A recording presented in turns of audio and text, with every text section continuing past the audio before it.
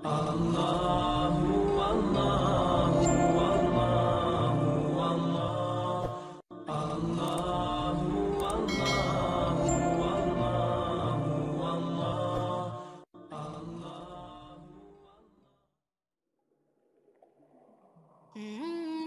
kita perhatikan hikmah-hikmahnya orang sakit. Yang pertama, orang sakit itu pasti lebih sering menyebut nama Allah dibandingkan ketika sehat.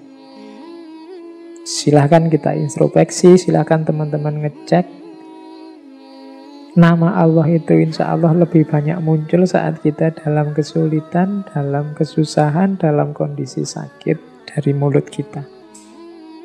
Mungkin kalau pas sakit kita banyak istighfar, astagfirullah. Saat sedang sakit kita banyak ngomong baik-baik di dari mulut kita selalu keluar ya Allah. Kalau kita tidak sakit biasanya sakarepe. Yang kedua orang sakit itu dosa-dosanya lebih mudah dia ingat.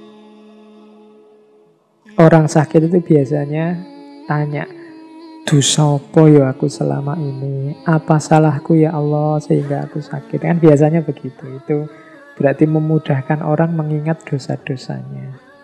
Orang yang sudah teringat dosa-dosanya biasanya terus bergerak untuk minta ampun pada Allah.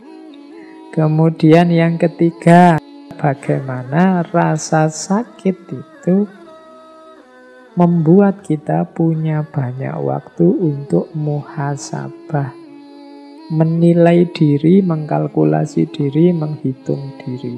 Itu orang yang banyak muhasabah, untungnya dia bisa semakin baik, semakin baik, dan semakin baik dalam hidupnya. Yang keempat, sakit ini posisinya seperti jihad. Jadi kita dituntut untuk tidak menyerah, kita dituntut untuk berikhtiar, kita dituntut untuk berjuang melawan penyakit demi kesembuhan. Jadi ini nilainya jihad. Bayangkan Allah memberi kita fasilitas sebagai seorang mujahid saat kita sedang sakit. Yang kelima, sakit ini bernilai ilmu dan pelajaran. Oh, kalau ini bisa langsung, bisa tidak langsung.